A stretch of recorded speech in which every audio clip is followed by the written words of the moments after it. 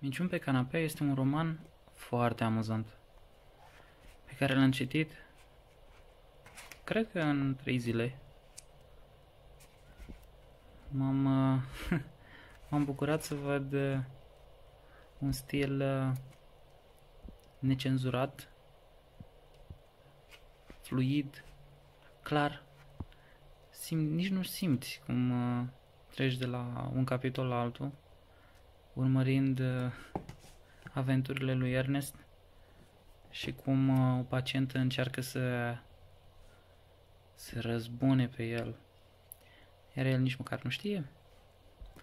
O să citiți uh, câteva înjurături, câteva expresii și uh, invitații incendiare la activități mai uh, ilicite, dar uh, merită. Dacă vreți să vă relaxați, să vă odihniți mintea și pur și simplu să uitați de stres și de problemele de zi cu zi pe care le întâlnim așa, fie că vrem, fie că nu, atunci puteți citi acest roman.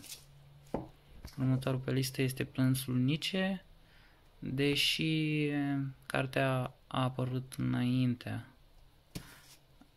celei citite de noi. Spor și o zi bună. Bye!